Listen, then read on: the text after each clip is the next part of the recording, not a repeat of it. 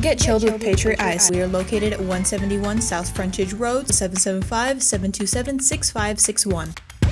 On May 9th, Nye County Sheriff's Office deputies had received a report of fraudulent activity on USA Towing Inc.'s business account with service provider AT&T. Upon arrival, officers were provided documentation of the USA Towing account that was allegedly used to make the purchase of approximately $350 of equipment.